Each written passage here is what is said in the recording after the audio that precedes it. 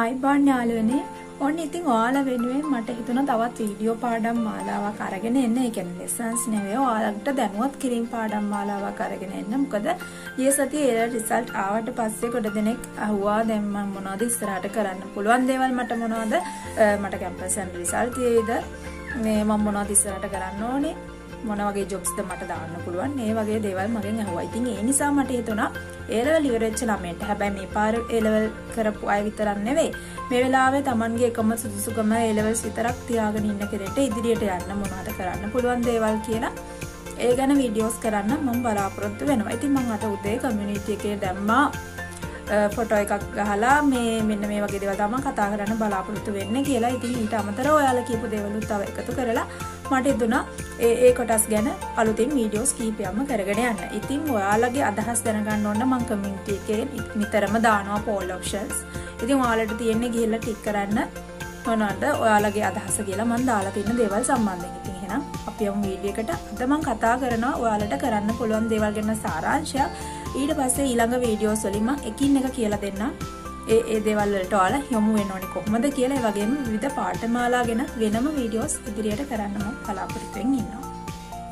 Photo එකේ දාලා තිබ්බ දේවල් වලට අමතර දේවලුත් එකතු කරලා බෝඩ් එකේ chart එකක් ඇඳලා ඉතින් මෙතන තියෙන විස්තරාත්මකව කියන්න බලාපොරොත්තු වෙන දේවල් සම්බන්ධයෙන් දැන් මෙතනදී මුලින්ම ඒ ලෙවල් ඉවරෙච්ච ළමයට අනිවාර්ය බලාපොරොත්තුවක් තමයි කැම්පස් යන එක. ඉතින් එතකොට කැම්පස් යන අය සහ කැම්පස් යන්න බැරි වෙන අය කියලා කොටස් දෙකක් බෙදෙනවා. ඉතින් මෙතනදී කැම්පස් යන අයට මොනවද කරන්න පුළුවන් කියලා ඊළඟ වීඩියෝස් වලින් මම කතා කරන්නේ. ඊට අමතරව මම මේ වීඩියෝ එකේ ප්‍රධාන වශයෙන් කතා කරනවා කැම්පස් යන බැරි විචාරට මොනවද කරන්න තියෙන දේවල් කියලා. ඇත්තටම බැලුවොත් කැම්පස් යන කෙනෙක්ට වඩා කැම්පස් යන්න බැරි වෙච්ච කෙනෙක්ට කරන්න තියෙන දේවල් ගොඩක් තියෙනවා. කැම්පස් යන කෙනෙක්ට ඉස්සලම කැම්පස් එකට ගිහිල්ලා උපාධිය සම්පූර්ණ කරලා ඊට පස්සේ රැකියාවකට යොමු වීම තමයි කරන්න පුළුවන්. ඒ අතරතුර කරන්න පුළුවන් දේවල් ටිකක් තියෙනවා. ඒ ගැන මම ඊළඟ වීඩියෝ එකේ කතා කරන්නම්. දැන් මම අද මේ වීඩියෝ එකෙන් ප්‍රධාන වශයෙන් සාරාංශගත කරන්න බලාපොරොත්තු වෙන්නේ කැම්පස් තේරිලා නැති කෙනෙක්ට මොනවද ඉදිරියට කරන්න පුළුවන් දේවල් කියලා. ඉතින් එතනදී මම මෙතන සෙකන්ඩ් ෂයි තර්ඩ් ෂයි කියලා මුලින්ම ලිව්වා. ඒ කියන්නේ ඉතින් දැන් සමහර අයට කැම්පස් යාමේ ආසාව පිට සමහර ළමයි ආයෙත් පාරක් ලියනවා. ගොඩක් සයන්ස් මැත්ස් කරන අය සෙකන්ඩ් ෂයි තර්ඩ් ෂයි වලින් හොඳ රිසල්ට් දාලා කැම්පස් යනවා. ඒ වගේම තමයි කොමර්ස් ආර්ට් අය වුණත් ඉන්න පුළුවන්. ආපහු කැම්පස් යාමේ ආසාව නිසා අවුරුද්දක් පස්සට ගියාට කමක් නැහැ කියලා ආයෙ පාරක් සෙකන්ඩ් ෂයි හිමන් නැත්නම් තර්ඩ් ෂයි කරනවා. අවුරුද්දක් ඇරලා කරන අය පවා මට හම්බෙලා තියෙනවා. ඉතින් එයාලට කරන්න පුළුවන් පළවෙනිම ඔප්ෂන් එක තමයි කැම්පස් යාමේ ආසාව තියෙන කෙනෙක්ට ආයෙත් පාරක් එක්සෑම් කරන එක. ඉතින් එහෙම කෙනෙක් කොහොමද වැඩ කරන්න ඕනේ කියලා ඔන්න පළවෙනි වීඩියෝ එක මේ යටතේ මම අරගෙන ඉන්නේ ඉතින් කොහොමද කරන්නේ කියලා අරගෙන එන්න. ඇත්තටම ඒ දේ නම් ඇත්තටම මගේ අත්දැකීමෙන් නෙවෙයි කියන්නේ මම ෆ්‍රෙෂ් ආයිම කැම්පස් ගිය කෙනෙක්. යාළුවන්ගෙන් විස්තර අහලා කොහොමද වැඩ කරේ කියලා සහ මගේ අදහස් වලින් මම ඔයාලට කියන්නම්. කොහොමද ඒ විදිහට වැඩ කරන්න කියලා. ඊළඟට ඔයාලට කරන්න පුළුවන් ඊළඟ දෙයක් තමයි එක්ස්ටර්නල් ඩිග්‍රී එකක් කරන එක. ඉතින් මෙතනදී මේක රජයේ කැම්පස් වල එක්ස්ටර්නල් ඩිග්‍රී තියෙනවා. රෙජිස්ටර් කරගන්න වාර තියෙනවා. ඒවා තාවක රෙජිස්ටර් වෙලා ඔයාලට කරගෙන යන්න පුළුවන්. ඒ සම්බන්ධයෙන් කොහොමද ඩිග්‍රී එකක් තෝරගන්න කොච්චර කාලයක් ගත වෙනවද? ඒ සම්බන්ධව ඊළඟ වීඩියෝ එකක් කරන්න මම බලාපොරොත්තු වෙනවා. ඊළඟ එක තමයි ප්‍රයිවට් ඩිග්‍රී හරි ඩිප්ලෝමා හරි කියන්නේ. ඒ කියන්නේ දැන් අපිට සල්ලි ගෙවන්න පුළුවන්කම තියෙනවා නම් අපිට පුළුවන් ප්‍රයිවට් කැම්පස් එකකට සල්ලි ගෙවලා ඉන්ටර්නල් ඩිග්‍රී එකක් ඒ වගේ ගන්න පුළුවන්. ඉතින් ඊට අමතරව ඕපන් යුනිවර්සිටි එකෙත් තියෙනවා ඒ ඩිග්‍රී ඉන්ටර්නල් ඩිග්‍රී විදියට යන්නේ යම් කිසි මුදලක් ගෙවන්න ඕනේ. සමහර උපාධි වලට විභාගයක් ලියලා යන්න ඕනේ. ඒ සම්බන්ධෙනොත් ඉදිරියට කතා කරන්න. ඉතින් ඒ වගේ ඩිග්‍රී එකක් වුණත් පාරට කරන්න පුළුවන් වෙනවා. ඊළඟට මට මෙතන ලියන්න බැරි වෙලා තියෙනවා ප්‍රොෆෙෂනල් කෝසස් කියන දේ. ඒ කියන්නේ වෘත්තීමය හැකියාව වර්ධනය කර ගැනීම සඳහා තියෙන වෘත්තීමය පාඨමාලා.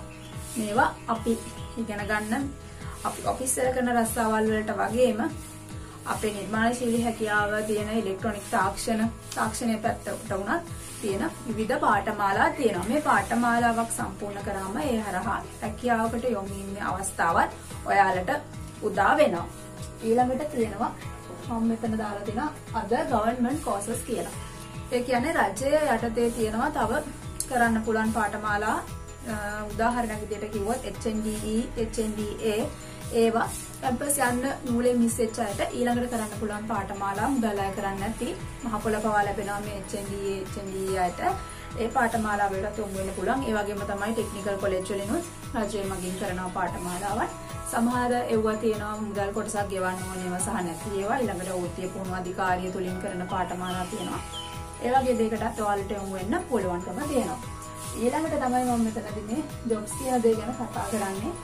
ඉතින් ඇත්තටම අපිට කැම්පස් යන්න බැරිමලා ඊළඟ ටාගට් එක ඉගෙන ගන්නකොට කෙලින්ම රැකියාවකට යන්න නම් එතනෙත් මේ රැකියාව කියන එක තුල රජයේ රැකියාව සහ පෞද්ගලික රැකියාව කියලා කොටස් දෙකක් තියෙනවා. ඉතින් මේ chart එක හදන්න මගේ එක අරමුණක් උනේ මෙතන මේ රජයේ රැකියාව කියන්නේ ඔයාලට තියෙන එක ඔප්ෂන් එකක් විතරයි කියලා දෙයක් කියන්න. මොකද ගොඩ දෙනෙක් ඒ සම්බන්ධයෙන් උනන්දු නිසා තමයි මම මුලින්ම ඒ සම්බන්ධ වීඩියෝස් කරන්න පටන් ගත්තේ. ඒ වුණාට මම ඔයාලට කියනවා ඔයාලට තියෙන එකම ඔප්ෂන් එක ඒක නෙවෙයි කියලා.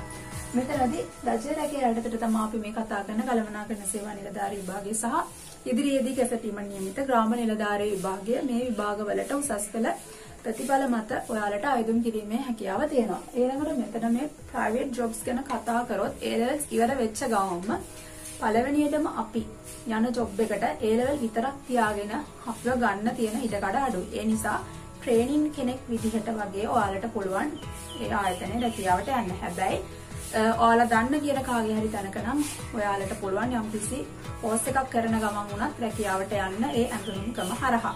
ඉතින් එහෙම දැන් නැති කෙනෙක් නම් තමන්ගේ ක්වොලිෆිකේෂන්ස් හදාගෙන ඇප්ලිකේෂන් එකක් දාලා තමයි පෞද්ගලික අංශ රැකියාවට යන්න වෙන්නේ. ඉතින් ඒ සඳහා ඔයාලට ට්‍රේනින් ජොබ් එකක් විදියට කරපු අත්දැකීම හරි ඔයාලා ඒ සම්බන්ධයෙන් මොන හරි කෝස් එකක් කරලා සර්ටිෆිකේට් එකක් හරි තියෙනවා නම් ඒක ගොඩක් වටිනවා. ඔයාලට ඉන්ටර්විව් එකට ගිහලා ඒ ඉන්ටර්විව් එක පාස් වෙන්න.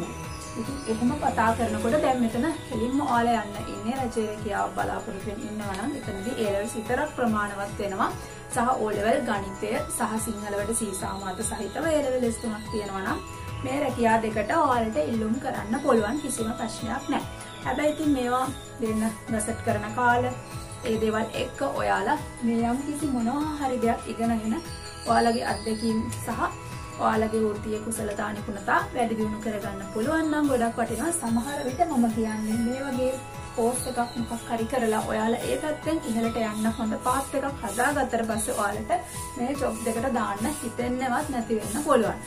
ඉතින් ඒ නිසා ඒ පැති ගොඩක් දේවල් තියෙනවා අපිට කතා කරන්න. ඉතින් ඉදිරියේදී මේ කෝස් මොනවද මොන කැම්පස් වලද තියෙන්නේ අපි දන්නවත් නැති හලවත් නැති ඔයාලට යොමු වෙන්න පුළුවන් විදිහේ ක්‍රමයක සහිත පාඨමාලා අපේ රටේ දැන් තියෙනවා.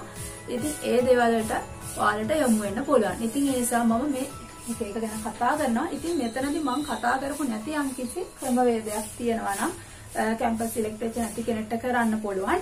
ඒ දේත් ඔයාලා ඔන්න පල්ලෙහින් කමෙන්ට් එකක් දාගෙන යන්න. එතකොට ඒ සම්බන්ධයෙන්ොත් මම කැමතියි ඉදිරියේදී වීඩියෝ එකක් කරන්න. ඊළඟට මම මෙතන මේ පල්ලෙහින් කියලා තියෙනවා IT සහ ඉංග්‍රීසි කියලා. ඒ කියන්නේ තොරතුරු තාක්ෂණ දැනුම සහ ඉංග්‍රීසි කියන දේ නම් අනිවාර්යෙන් වැදගත් වෙනවා. ඒක කැම්පස් ගිය ළමෙක්ට හෝ වේවා කැම්පස් නොගිය කෙනෙක්ට හෝ වේවා මේ දේ නම් අනිවාර්යෙන් දැනගෙන ඉන්න ඕනේ. ඉතින් ඉංග්‍රීසි කතා කිරීම හුරු වෙන්න නම් ඔන්න ඔයාලට YouTube channel වලින් පවා ඉංග්‍රීසි අද ඉගෙන ගන්න පුළුවන්. ඒ වගේම පන්ති තියෙනවා ඉංග්‍රීසි ඩිප්ලෝමා පවා තියෙනවා. ඔයාලට කරන්න පුළුවන්. ඉතින් ඒවා ගැන ඉදිරියේදී කතා කරන්න බලාපොරොත්තු වෙනවා. ඊළඟට IT ගැන කතා කරොත් ඉන්නම් IT වල මේ ගොඩාක් පරතරට ඉගෙන ගන්න පුළුවන් ප්‍රෝග්‍රෑමින් ශ්‍රේණිය දක්වාම තියෙනවා උපාධි පාඨමාලා.